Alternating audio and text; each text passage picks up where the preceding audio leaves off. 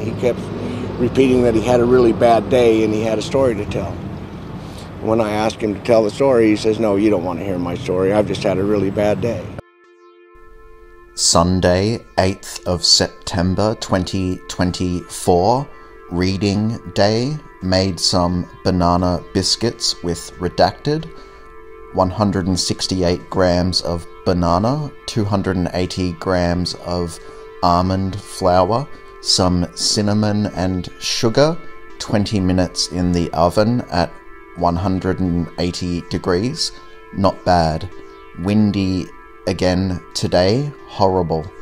Cooked in the afternoon, I was worried that it must not have smelled tasty when Redacted didn't bother coming over to give it a sniff and look for any crumbs, but he came and investigated as I was plating up.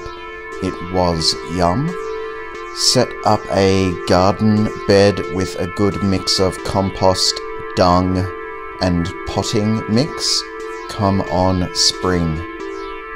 Mood 5, energy 6, moods fine, bored grateful, so glad to be in a mood to be interested interested in things and to have enough energy to read about things.